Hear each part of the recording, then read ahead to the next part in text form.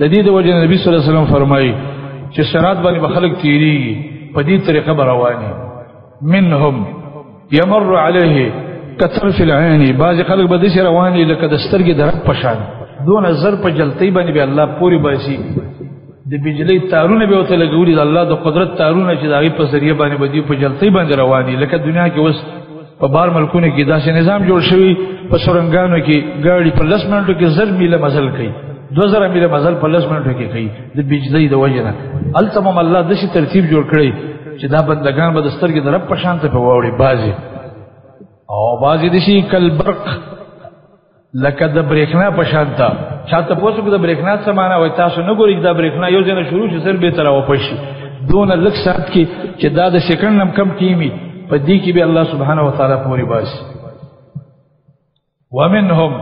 او باز انسانان به دې شي کطائر المسرع لکه یو یو هوایی مرغه چې تیز رواني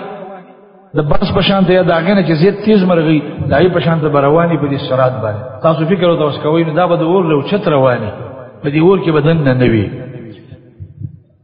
او بعض انسانان به په سرعت باندې داسې ور پوری وزي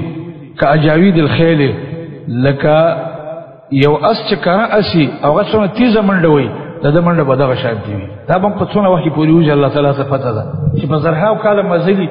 دته به فکر کاوه او بعض انسانان به دي شي وي ک اجود البهائم لکه د وخانو د قچرو د خرو د مزل په شان هغه چې څنګه مزل کوي دا چې مزل به وي او بعض انسانان به دي کې دي شي وي چې هغه به کسعی الرجل لکه د یو سړي د منډې په شان انسان چې څنګه منډه وي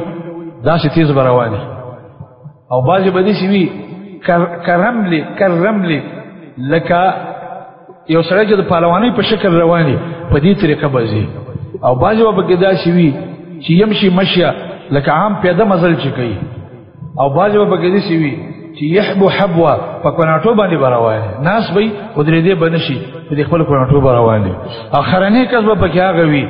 ومنهم المنبطح على بطنه هغه انسان هم پکې تاسو فکر وکړئ زما عزت مند چې په خېټه برواني په خېټه نو دا به وایي چې الله ټول خلک مانه لړ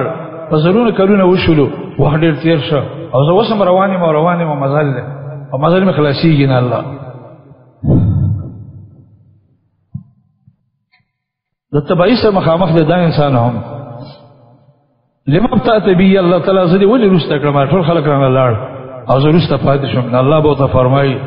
چې ما ابتعت بکا تمانی رسته کړي ولکن ابتع بک عملک ته په دنیا کې الله تعالی ته ستا منډم دغه شان سستا وا الله تعالی روان وي خو ډیر سلو مزل باندې روان وي نو ځکه دا عمل مطابق گویا کې انسان په خپل عمل شوریږي او دایي مطابق مزل کوي دا ستاد لپاره غاړه دا ستاد لپاره اس دا ستاد لپاره هوا او دا ستاد لپاره مرغه او جهاز وغیرہ جوړیږي او داغي مطابق یا د بجلی کڼ دل جوړیږي او داغي په ذریعہ باندې تا اخوا پورې وځي څومره چې دلته تیز وي الله ته دې منډه تیز وا التبدي دغه شانی په جلتی باندې پورې وتل وي زما د زمان له د انسانان دغه شان تقسیم دي به دا ټول انسانان څلور ډلو ته تقسیمیږي په سورات باندې